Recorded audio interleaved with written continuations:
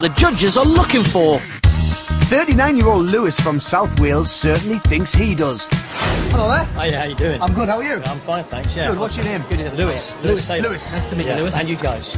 And what, what are you doing? Ventriloquism act, and also um, with a little twist, which hopefully they're not going to expect. A little Right, twist. nice. Good luck, mate. Enjoy.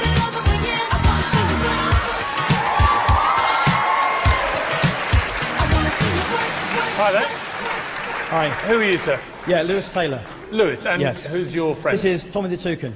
So it's a ventriloquist act, yeah? Yes. Okay, whenever you're ready. Wow, Louis, look at all those people. I know, Tommy, that's because we are here. For Look, there's Simon, Amanda. Oh, yeah, and look on the end, look. It's Louis Walsh. No, it's definitely, it's definitely Piers Morgan. It's Piers Morgan. Piers Morgan. Your bird just talked on its own. Yes, Where's it that noise coming from? That's coming from a system. Not from you. No, animatronic system. So you're not even throwing your voice. No, not, not, not on this part, but there's a routine where I actually do use my own voice. But hang on, you can't be a ventriloquist. No, no. You said I'm a ventriloquist. What did you say? I didn't actually agree with you. I just oh. let you believe that.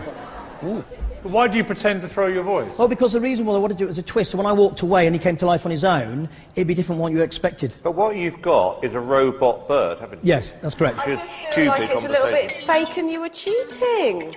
I think you should turn the batteries off and leave. So it's back to the drawing board for Louis. And